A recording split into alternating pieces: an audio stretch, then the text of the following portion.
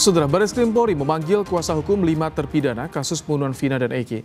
Pemanggilan soal laporannya terhadap Aib dan Dede terkait dugaan keterangan palsu.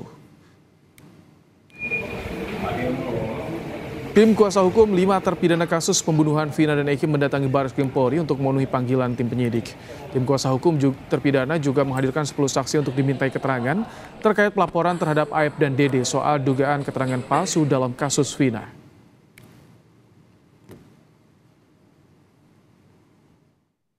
Tim DPM dari Pradi.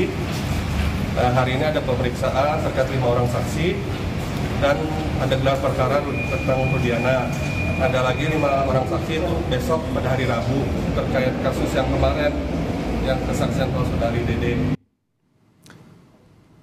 Salah satu saksi di sidang PK Saka Tatal Aldi Renaldi menceritakan bagaimana dirinya mendapatkan tindakan kekerasan dan tak pantas saat ditangkap oleh polisi pada 2016 silam terkait kasus pembunuhan Vina dan Eki di Cirebon.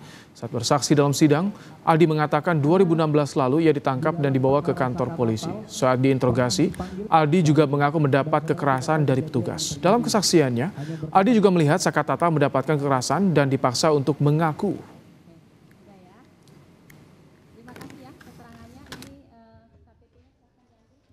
Kamu pernah melihat Saka Tatal waktu dipukul? Iya, Di berapa kali Saka Tatal mengalami penyiksaan? banyak, sama, banyak. Apa yang disampaikan? Dampak dari pemukulan itu harus mengakui atau apa? Harus mengakui Pak.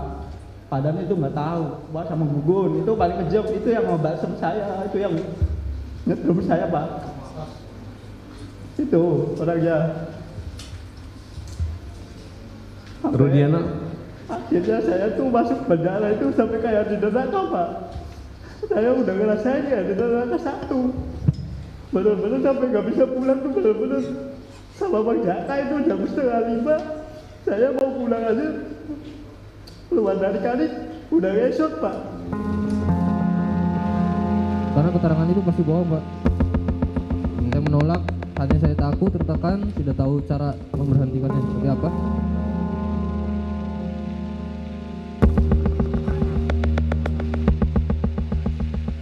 Liga Akbar, saksi kunci kasus Vina Eki mengungkap sejumlah kebohongan yang terjadi dalam penyidikan kasus Vina dan Eki 8 tahun silam. Liga mengakui ia berbohong dan tidak berada di lokasi kejadian saat Vina dan Eki ditemukan tewas hingga tidak mengetahui kronologi pengeroyokan keduanya oleh geng motor. Liga mengaku berada dalam kondisi ketakutan dan terancam oleh penyidik saat menandatangani BAP 8 tahun silam. Liga Akbar juga mengakui sempat mengajukan keberatan atas kesaksian palsu yang ditulis dalam BAP kepada Rudiana. Tetapi keberatan Liga Akbar tidak dihiraukan ayah Eki, Ibtu Rudiana. Oh, Yang faktanya itu emang saya tidak ada di saat kejadian. Yang tidak faktanya itu ya orang berpikirnya saya ada di situ, Pak. artinya ketika be- saudara membuat berita acara itu, apa yang saudara katakan dari kebohongan itu? Kan kalau misalnya saudara tidak ada di situ, berarti tidak ada cerita apa-apa, ya? Ya, betul, Pak. Pada kenyataannya saudara ceritakan bahwa ada kejar-kejaran, Ya, ada lempar-lemparan. ya, betul, Pak. Nah, itu termasuk yang saudara cabut. Ya, itu yang saya cabut, Pak. Hmm, baik, baik. Saya persidangan waktu itu kan di situ ada ibunya almarhum, ada kakak saya juga, kakak angkat saya hadir di situ bertemu Pak Rudiana Di mana? di depan persidangan tempat persidangan bertemu sempat bertemu. Ya, di pengadilan ini.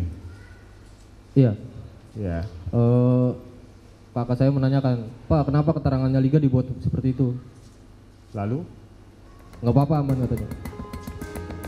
Sementara dua teman baik Vina yang berkomunikasi dan melihat Vina sebelum ditemukan tewas meyakini Vina dan Eki tewas karena kecelakaan, bukan pembunuhan. Widi mengaku sempat berkomunikasi dengan Vina terakhir kali melalui sambungan telepon dan meyakini Vina dalam keadaan baik dan ceria. Widi juga menjadi orang pertama yang diberitahu polisi yang menemukan Vina dan Eki tergeletak di jembatan Talun. dengan Vina kan menerangkan Vina ditelepon ketawa-ketawa cekiki-cekikikan tuh. Itu gimana tuh ceritanya? Ada kaitannya? Terus ada kalimat odol itu apa tuh? Ada nggak kalimat odol itu? Enggak pak, aku enggak tapi kalau happy happy betul ya ketawa-ketawa. Iya, iya. Nah setelah ketawa-ketawa berapa menit kemudian susah dihubungi gitu ya tapi Iya. waktu terakhir dihubungi memang Vina kelihatan bahagia banget ya gitu, happy happy gitu ya. Heeh. P almarhum. Iya, yang terakhir. Terus almar ada yang angkat. Ada Ya, siapa yang angkat? bapak-bapak, dia bilangnya begini pak. Bilang apa? Coba jelaskin yang yang tegas dan keras coba. Iya dia bilangnya begini. Assalamualaikum.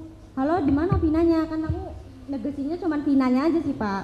Nah pas begitu tuh eh, dia langsung ngomongnya gini. Assalamualaikum, saya dari Polsek Talun ingin mengabarkan kalau Ananda Vina sama Eki kecelakaan tunggal di jalan eh di jembatan flyover Talun.